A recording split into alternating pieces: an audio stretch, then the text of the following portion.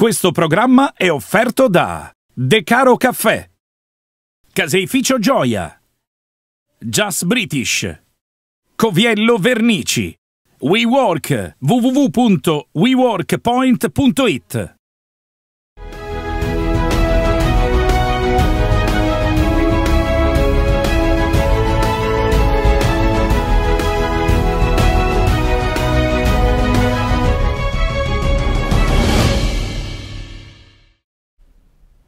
Buonasera e ben ritrovati ad un nuovo appuntamento con il Ruggito Nero Verde, la trasmissione che vi porta nel mondo bitonto, la trasmissione che vi accompagnerà verso la partita di sabato contro il Gallipoli.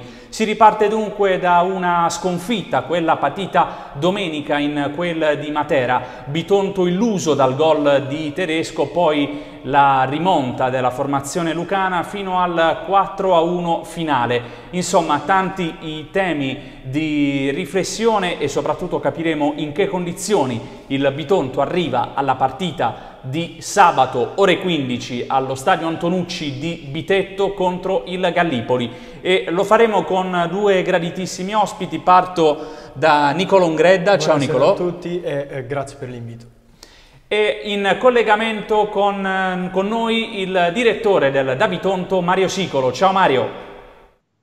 Ciao Vincenzo, un abbraccio al nostro caro Leoncello, ospite in studio e a tutti gli amici che ci seguono da ogni angolo dell'orbe terracqueo, multimediale non solo. Bene, allora partiamo subito con eh, la partita persa dal Bitonto domenica in quella di Matera, andiamo a vedere le azioni salienti e poi ne parliamo in studio.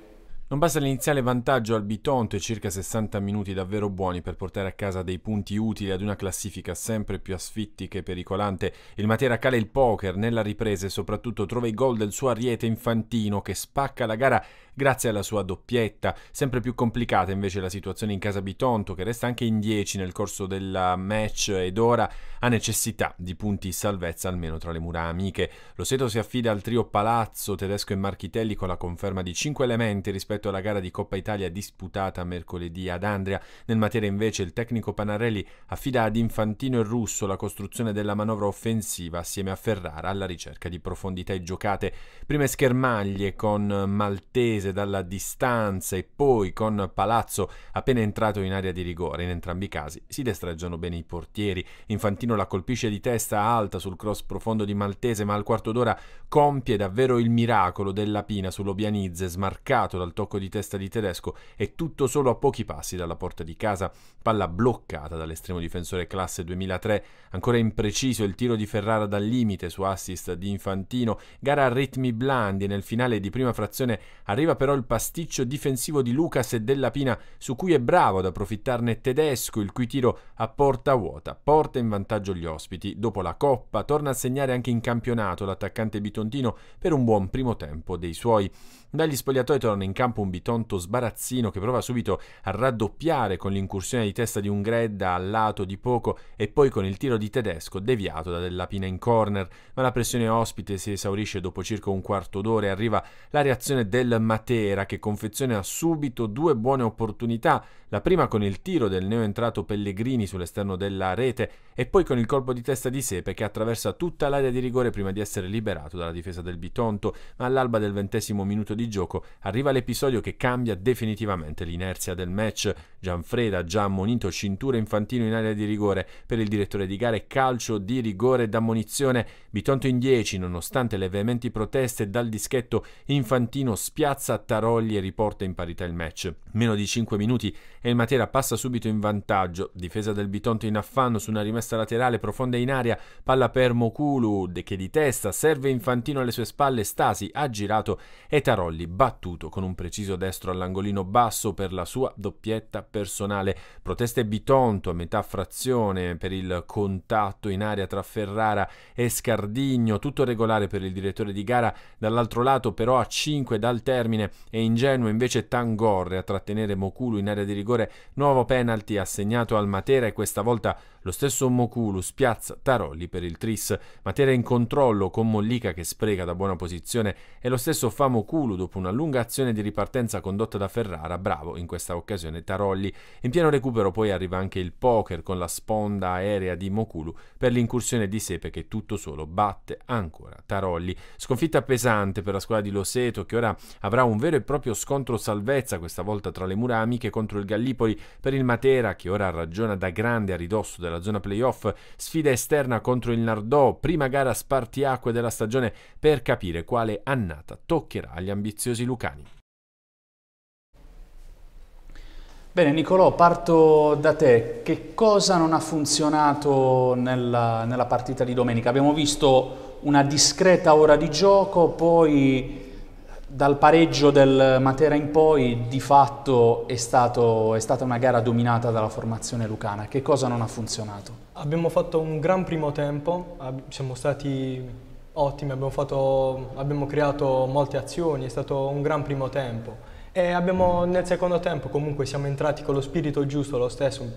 Mm, sec mm, nel secondo tempo, il primo quarto d'ora, abbiamo, abbiamo continuato a creare, una volta con me, una volta con Tedesco e però c'è stato, stato, un episodio che ha, ci, ha, ci, ha, spezzato le gambe, ovvero quello del, del, del rigore, cioè che continuando a rivederlo ho, ho, ancora dubbi se ci sia o meno.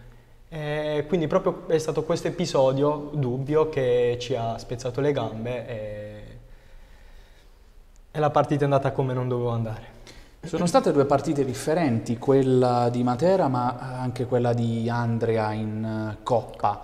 Ecco, eh, ritenete, eh, quali ritenete che siano gli aspetti che, come dire, nella partita di Coppa avrebbero dovuto essere poi replicati e non sono stati replicati in terra lucana?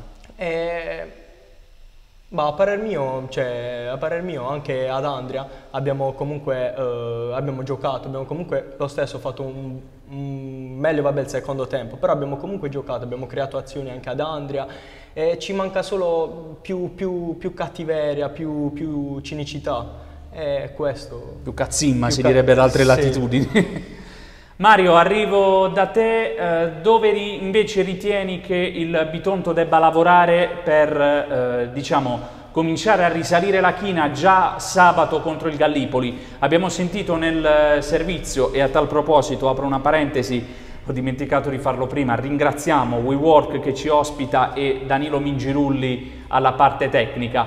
Però ecco, ehm, si parlava nel servizio di classifica che comincia a farsi pericolante, dove ritieni che, bisogna, che si debba lavorare in questa fase già da sabato? Beh, di solito si dice che si debba fare la corsa su chi all'apparenza finora è risultato un po' più debole no? della formazione nero-verde. Ma in realtà se vediamo bene adesso purtroppo occupiamo il penultimo gradino della graduatoria eh, sapendo che all'ultimo posto c'è la Palmesi che peraltro si è prodotto in un risultato quasi sorprendente domenica scorsa e beh c'è sì da preoccuparsi.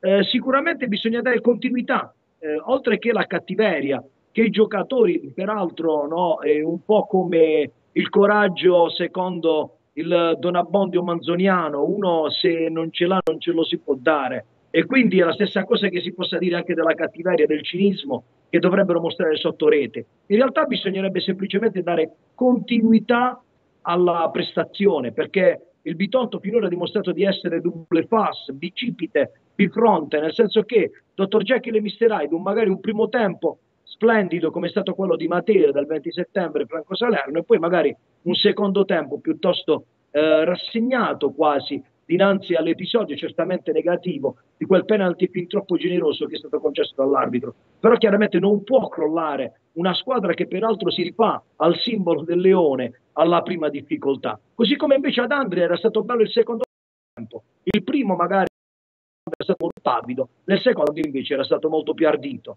Io credo che bisogna dare continuità alle prestazioni, questo sì. È evidente che in questo momento eh, l'obiettivo è superare la colonna di destra per provare quantomeno a riavvicinarsi a quella eh, di sinistra. Ecco, ehm, qual è stato il... che cosa vi siete detti in spogliatoio, do, non tanto subito dopo la partita, perché insomma sappiamo che a caldo a volte magari la delusione, può, la delusione può avere il sopravvento, ma ecco poi a mente fredda su che cosa avete riflettuto?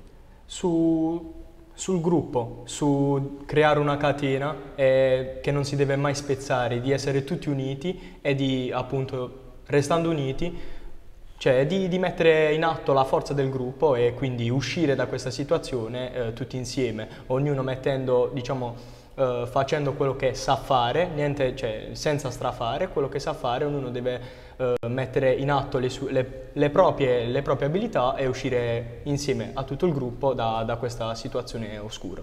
Ecco, noi abbiamo parlato eh, più volte nelle scorse puntate del, proprio mh, parlando del gruppo, della, della, corretta convivenza, del corretto mix tra i giovani e i giocatori di esperienza. Eh, in tanti sostengono che eh, in generale sia meglio avere più, più giovani entusiasti, eh, desiderosi di emergere, oppure più eh, giocatori esperti in grado, come dire, di eh, trainare. saper trainare il gruppo. Ecco, eh, dal tuo punto di vista, dato che tu fai parte di una di queste due uh, categorie, uh, quanto per voi sono importa importante l'apporto di giocatori più esperti? Mm, un nome mi viene in mente Loris Palazzo e quanto invece ritenete di poter dare il vostro contributo, tanto più in un periodo difficile come questo?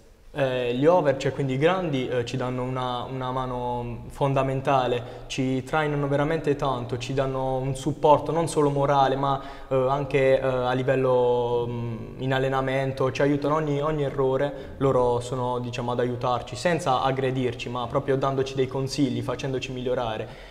E mentre per quanto riguarda noi giovani, noi giovani dobbiamo solamente dare il 100%, eh, anzi più del 100% dobbiamo dare e seguire ciò che i, diciamo, gli over, i grandi eh, ci, ci, dicono. Mario, vengo da te per eh, parlare proprio della, della, classifica dei risultati maturati nell'ultima eh, giornata. Uh, c'è stato qualche risultato che ti ha, uh, diciamo, che ha confermato quelle che erano le tue aspettative, qualche risultato invece che ti ha sorpreso e soprattutto che cosa ci dice la classifica che abbiamo appena visto? Allora, ehm, sicuramente, siccome è un mio pallino da inizio campionato, sottolineo la bella vittoria del Nardò, per esempio, no? che ha sbancato Altamura e prima o poi eh, penso che sostanzialmente Nicola Ragno dovesse riprendere in pugno la situazione eh, nella, per la squadra neretina da un lato. Dall'altro poi ci sono stati alcuni pareggi e soprattutto stupisce, penso, all'interno della classifica il primo posto del Fassano di T8 che eh, se è vero come è vero che ha conseguito un'altra vittoria quindi probabilmente rispetto alle eh, tallonatrici come può essere il Martina di Massimo Pizzulli però voglio dire il Fasano che ha vinto a Bitonto che ha sbancato il Nicola Rossiello non è che avesse dimostrato eh, questa grande forza da corazzata che possa stendere in un battibaleno tutto il campionato. Quindi, secondo me, i risultati, proprio i risultati di domenica, hanno lasciato aperto parecchie piste, tante squadre che si metteranno dietro la lepre Fasano, che sicuramente non è in procinto di attuare una fuga, secondo me. Poi bisogna stare molto attenti giù, nella parte bassa, no, nei bassi fondi del campionato, dove il Bitonto, secondo me, ha da fare necessariamente sei punti nelle prossime due partite. Perché secondo me la, la sfida contro, le sfide contro Gallipoli e Manfredonia, che peraltro eh, no, sono state protagoniste di un match fratricida domenica scorsa, e sono sfide fondamentali e cruciali per il Bitonto, se davvero si vuole dare la svolta a questa stagione. Allora, mandiamo adesso un altro contributo, ossia le parole del direttore sportivo del Bitonto, Leonardo Rubini, dopo la sconfitta in quel di Matera. Sentiamo e poi ne riparliamo in studio.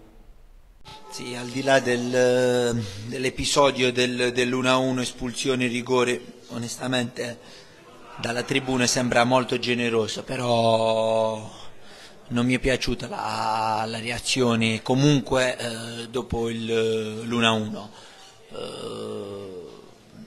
una squadra immatura e una squadra eh, che eh, si, si, deve salvare non può commettere un errore del genere, eh, degli errori del genere, abbiamo preso tre gol su, su falli laterali innanzitutto bisogna chiedere scusa ai ragazzi che sono venuti qui a supportarci e fanno sacrifici per, eh, per venirci a vedere. Uh, poi bisogna rimboccarsi le maniche, lavorare, lavorare e, cercare di recuperare un po' di indisponibili. Non mi è mai piaciuto piangermi addosso sugli indisponibili, però una squadra come la nostra non può permettersi tutti questi assenti.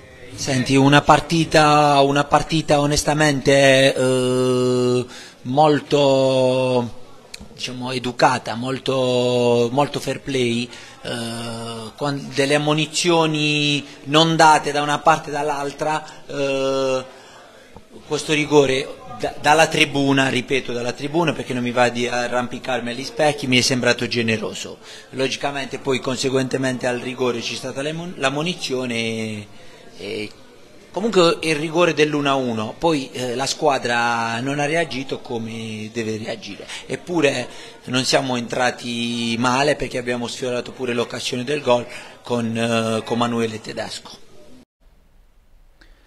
Mario, ti ha convinto questa disamina da parte del direttore sportivo del Bitonto, Leonardo Rubini? Eh, stato, ci sono state delle perplessità sul eh, rigore fischiato in favore del Matera, ma anche, se vogliamo, un eh, piccolo mea culpa rispetto al, eh, alla prestazione fornita in campo anche eh, per quanto riguarda i tifosi presenti in terra lucana. Ma a grandi linee è una disamina che ti trova d'accordo? Beh, sicuramente, come già dicevo io stesso che ho rivisto insomma, le immagini, e beh, il primo penalty è stato sicuramente generoso, atteso il fatto che Saveriano Infantino, che era l'ex di turno, un attaccante che probabilmente abbiamo battezzato noi bitontini al palcoscenico del calcio importante, del calcio che conta, eh, sapendo che Saveriano sa fare quel movimento, è abituato, no? e praticamente la sua specialità, quello di appoggiarsi al difensore, fare perno poi sull'avversario che lo marca, poi girarsi e freddare il portiere avversario. Quindi secondo me il primo rigore è stato generoso, poi è chiaro che nel momento in cui tu espelli anche Gianfreda, eh beh, a quel punto diventa difficile per il Bitonto che già sulla carta per valori uno contro uno è inferiore, almeno sulla carta, ripeto, al Matera, e beh, è chiaro che poi il tracollo è dietro l'angolo fermo restando che comunque ehm, continuo a condividere, ma non è solo colpa di Leonardo, probabilmente a caldo era quella l'unica chiave di lettura che si poteva dare. Continuo a condividere la lettura delle partite, l'interpretazione delle partite legate ai singoli episodi. Ripeto, come ho detto prima, fare un ragionamento circa tutto, no? l'intero, la totalità della prestazione della squadra. Poi per il resto, eh beh, i tifosi, eh, gli ultra sono generosi e magnanimi stanno seguendo il Bitonto un po' ovunque. E beh, è chiaro che prima o poi vogliano anche delle prestazioni all'altezza, per quanto i ragazzi non sono degli automi, è chiaro che loro e nessuno pensa che eh, giochino a risparmio o vogliano eh, levare il piede dall'acceleratore certe volte, perché è chiaro che ognuno dà il meglio di sé, dà l'anima in campo e poi non sempre i risultati seguono. Bene, allora andiamo a vedere come si è comportato il Gallipoli nell'ultimo turno di campionato, il servizio.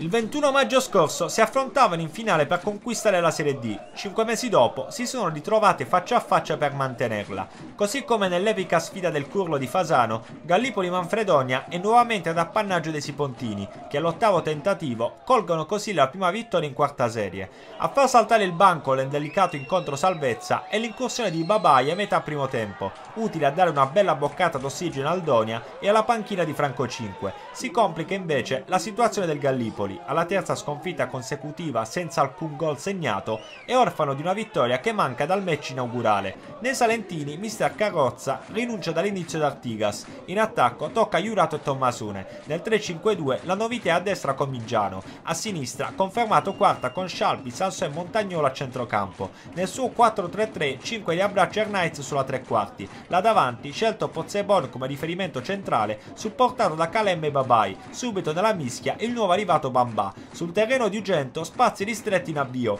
Air Knights da fuori chiama Passaseo al primo grande intervento del suo pomeriggio. Al 24esimo il Manfredonia passa, Babai si incuna in aria e piazza il diagonale. Passaseo tocca, ma questa volta non basta, Doni in vantaggio. Partita non sfavillante, dagli spogliatoi non tornano Quarta e Montagnolo, Anzano e Nestola chiamati a dare più vivacità alle fasce. Attento come non mai e pulito in uscita il Manfredonia. Passaseo vince ancora il duello con Air Knights, poi è strepitoso col piede nell'evitare la doppietta Babai. L'estremo difensore tiene in partita i suoi, l'altro senatore Scialpi prova a suonare la carica, impegnando e non poco il numero 1 Sipontino Rossi. Nel Gallipoli è il momento di Artigas, con lui anche Ranieri per le evanescenti Jurato e Tommasone con il classico passaggio del testimone in attacco. I cambi non danno la scossa utile al Gallipoli, al contrario Anzano frana così su un avversario al 62esimo, rigore netto, spedito alle stelle da Pozzebon. Resta lo 0-1 con l'attaccante che lascerà poi il campo a Cesario abbastanza infastidito. I nervi non bastano i salentini, il Manfredonia conserva il minimo vantaggio fino al novantesimo,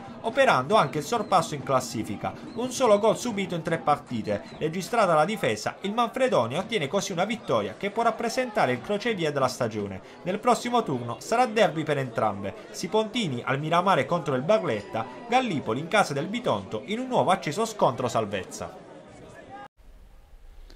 Bene Mario, un nuovo acceso scontro salvezza, eh, come diciamo eh, abbiamo sentito nel servizio. Quali sono i punti di forza del Gallipoli secondo te?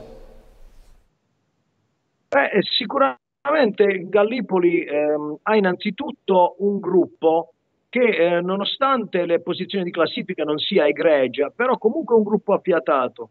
E poi ha un paio di elementi, soprattutto a centrocampo, che nonostante il livello della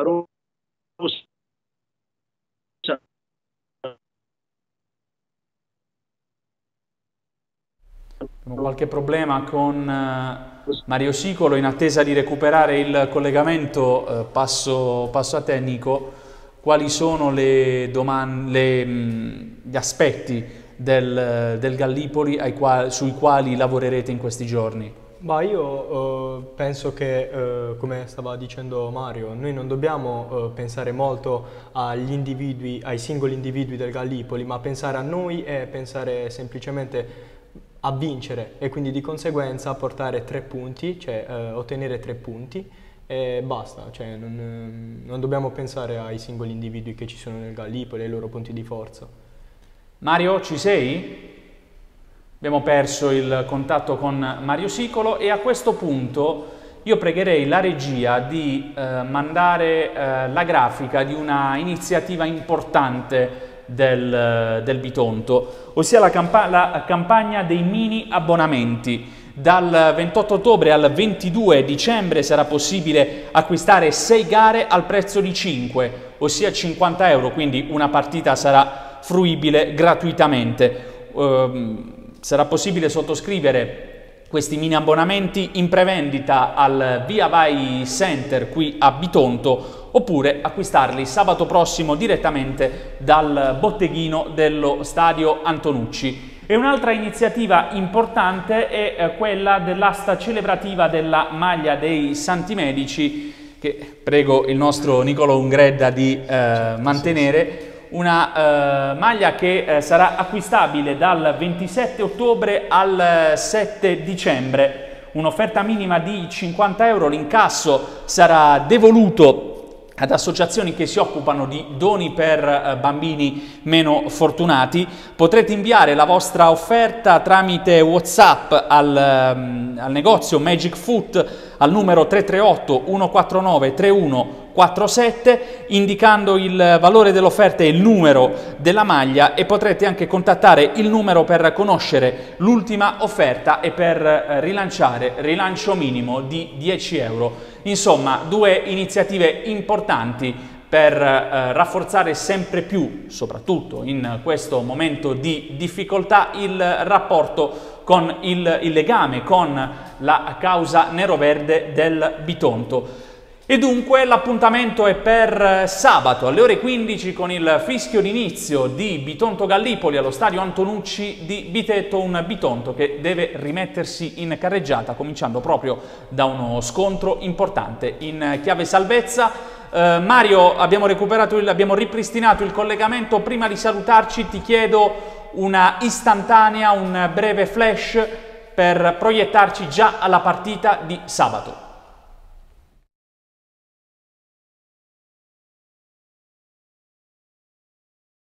Ancora con la connessione di Mario Sicolo che a questo punto saluto confidando in eh, diciamo, eh, una connessione più stabile, magari vedremo anche di averlo ospite qui in eh, studio giovedì prossimo. Io intanto ringrazio e saluto Nicolò Ungredda. Grazie mille a voi.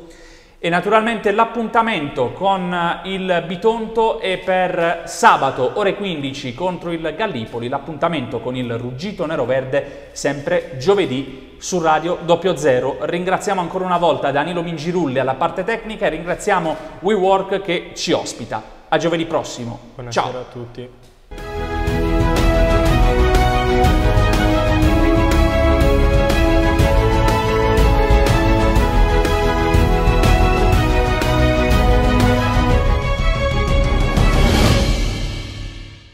Questo programma è stato offerto da De Caro Caffè, Caseificio Gioia, Just British, Coviello Vernici, WeWork, www.weworkpoint.it